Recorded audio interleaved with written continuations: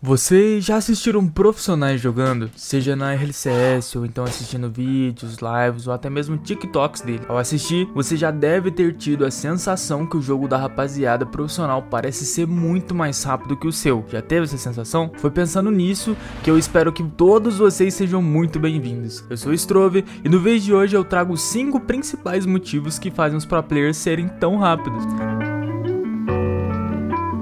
Os profissionais são sujos, meus amigos, são os canalhas. E eu duvido que alguém te conte o que eu vou te explicar nesse vídeo de hoje. Mas afinal, o que é ser rápido? No Rocket League, ser rápido tem outro significado. Normalmente, um jogo de corrida, por exemplo, ser rápido é quem está na frente e por fim ganha a corrida. Ou seja, quanto mais velocidade, mais rápido você é. Mas no Rocket League, ele não é um jogo de corrida, apesar de alguns players acharem que é. Ser rápido no Rocket League é estar no lugar certo na hora certa estar lá para receber um passe, fazer uma save, finalizar um gol, isso é ser rápido. Mas como cargas d'água, os prós conseguem estar no lugar certo na hora certa a todo momento. Bom, primeiro motivo, antecipação de bouncing. Rocket League é a mesma coisa há anos. O que muda são seus carros e skins, mas a física e a mecânica do jogo sempre foi a mesma há 9 anos. O que permitiu a leitura do bouncing com o passar do tempo. Para novos de plantão, bouncing é quando a bola bate na parede ou em alguma superfície e volta, seja então parede, né, como eu mencionei, chão, teto, trave, etc. A leitura do bouncing é um dos principais fatores para que você consiga ser um player rápido. Você sabendo aonde a bola vai parar depois dela bater na parede te deixa ainda mais rápido, visto que você sabe o caminho da bola depois dela bater na parede. Mas para um profissional, ele não pode ter somente a leitura do bouncing, ele precisa prever esse bouncing e ser ainda mais rápido. É aí que vem a antecipação antecipação de bouncing. Conforme o tempo passa e você treina essa antecipação, ou seja, tentando ler o bouncing antes que ele aconteça, mais rápido você fica, visto que você não vai ter toda essa demora de esperar o bouncing acontecer para conseguir pegar a bola. Isso é muito importante, principalmente para bolas que voltam ao meio. Sabe aquelas bolas que batem no seu backboard, essa parede acima do seu gol, e voltam ao meio e você ainda está de costas? Isso é bem comum de acontecer. Então, esse tipo de bola você precisa antecipar antecipar o bouncing e pegar a bola antes que ela volte ao meio, porque senão vai ter um cara com um canhão pelo meio para finalizar esse gol. Se você esperar demais, você vai acabar tomando. Por isso, antecipação de bouncing é essencial, seja para defesa ou então para ataque. Segundo motivo, antecipação de player. Além da antecipação de bouncing, existe também a antecipação de player. Mas o que exatamente é antecipar um player e como fazemos isso? Eu quero trazer um vídeos futuros só sobre essa noção de jogo, porque ela é muito complexa, muito completa e realmente difícil de ensinar. Mas eu vou tentar passar de uma forma resumida aqui. A antecipação de player é o ato de você, Juninho Games 97, parar de olhar a bola e passar a olhar o campo junto, olhar o que está ao redor da bola, ou seja, os players. Observando os inimigos, vamos conseguir identificar a situação muito mais fácil e antecipar a situação. Quer um exemplo que com certeza já aconteceu com você? Seu teammate deu um passe, ele estava ali pelos corners, né, pelas laterais e deu um passe para você no meio. Você se tacou para pegar essa bola. Você se tacou nela sem pensar duas vezes. Mas quando você menos espera, aparece um cidadão cortando você, cortando os passe e acaba sobrando open para ele. E assim você acabou tomando gol. Pode parecer, pode acontecer também do contrário. Você dá o passe pro seu teammate e ele ser cortado pelo adversário. Esse é o famoso passe bait, ou seja, ou você ou seu teammate beita um ao outro em um passe ruim, né? Mas como que você vai fazer para não ser cortado mais nesse tipo de passe? A primeira coisa é observar a play como um todo. Observe a situação e não somente a bola. Um player profissional vai olhar a distância da bola que ela está entre o inimigo e você. Se as chances forem boas e tiver mais sucesso de vitória, o pro vai se tacar nela. Se não forem, ele vai voltar e assim antecipando a jogada ou o chute de clear do inimigo. Então o pro terá antecipado o player inimigo, pois sabia que não teria chance de finalizar o gol. Outra antecipação muito comum que posso dar de exemplo é nas próprias saves também. A bola pode por muitas vezes sobrar ou então estar na região do gol inimigo, mas você ainda está longe para finalização e vê o adversário chegando antes que você. O que fazer? Antecipar a play dele. Se ele estiver muito rápido, com certeza vai ser um chute. Então o que fazemos? Viramos nosso carro para o lado que o player vai chutar. Então olhamos olhamos para o nariz do carro basicamente, assim conseguimos antecipar a movimentação do adversário. Sabendo o ângulo que o carro está, a gente consegue mais ou menos prever a trajetória da bola para que a gente consiga antecipar essa play. E assim que ele chutar, você vai estar tá muito melhor posicionado para pegar o rebote. Entenderam a importância dessa antecipação de player? Isso acelera seu posicionamento. Isso não te deixa mais rápido em questão de velocidade, por exemplo, mas te coloca no lugar certo, na hora certa. O terceiro motivo são os setups. Com certeza você já ouviu falar, ou até mesmo você fala isso. Eu sou plástico 18, faço airball, reset, must e não upo. Meu teammate sempre me afunda. O fato é, se você tem todas essas mecânicas, não significa que você saiba as utilizar como deveria, pois se você faz um simples air dribble contra patinas ou diamantes, eles não pegam. Então por que você, entre muitas aspas, sabe todas essas mecânicas de alto nível e não sai do plástico 49? Simples, setup. Todos os meus alunos que me falaram essa frase, eu pedi para me mostrarem todas essas mecânicas que eles tinham e basicamente eles acertavam sim o reset, acertavam sim o air dribble, mas eles mais erravam do que acertavam. E eu nem tô falando de usar o reset e fazer gol, eu tô falando no ato de pegar o reset.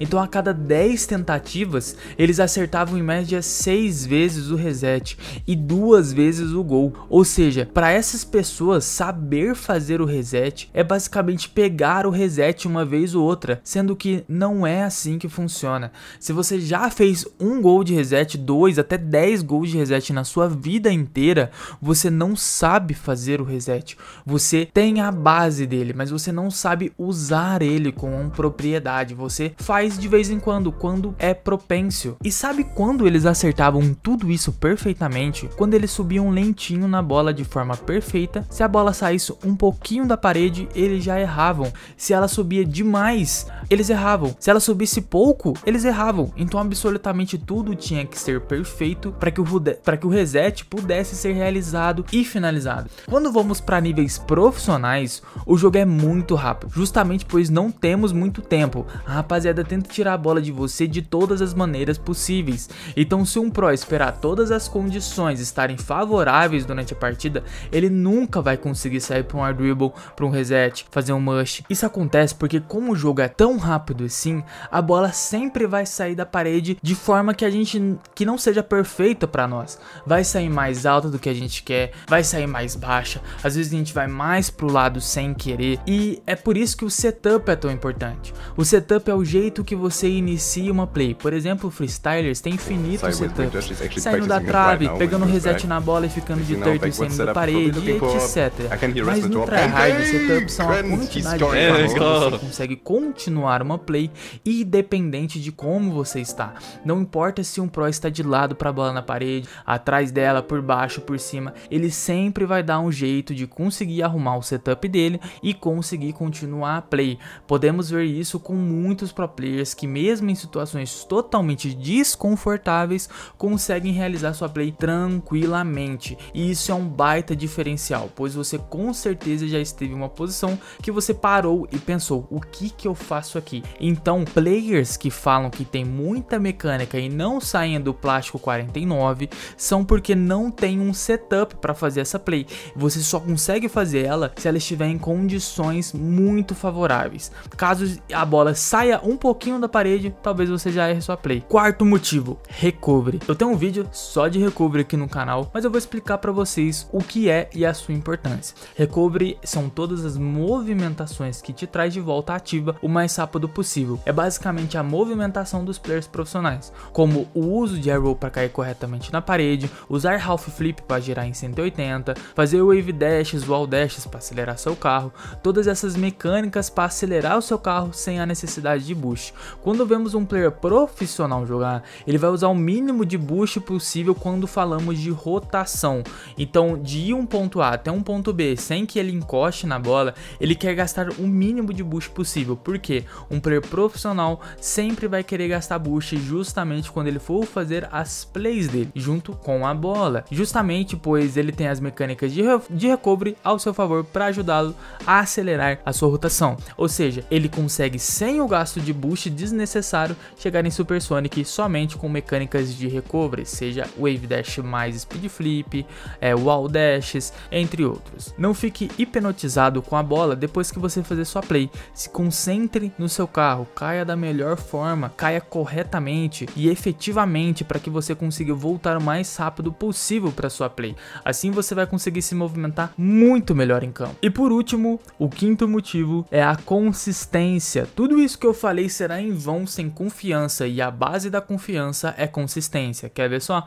Quando você realiza alguma atividade, ela sempre tem um padrão. Vamos colocar tirar carteira de motorista. Eu sei que alguns de vocês já têm e outros ainda sonham em ter. Eu tirei a minha e é o seguinte: você vai inseguro para a primeira aula de moto, por exemplo, porque afinal você nem sabe trocar a marcha, dar seta, mas no final da primeira aula você já sai bem mais confiante de quando você entrou. Você já entende toda a mecânica da moto, como ela funciona, sabe seu peso, então você se sente muito mais confiante ao passar da primeira aula. No segundo dia, a insegurança volta, só que em dose menor e bem reduzida do que a do primeiro dia. E no final do segundo dia, você está bem mais confiante, até que chega no décimo dia e você já não aguenta mais ficar fazendo círculos naquela pista e queria sair pela rua dando grau. A mesma coisa vai acontecer aqui. Quanto mais você jogar, se possivelmente diariamente, menos inseguro você vai ficar e mais confiante para fazer suas plays você vai ficar consecutivamente.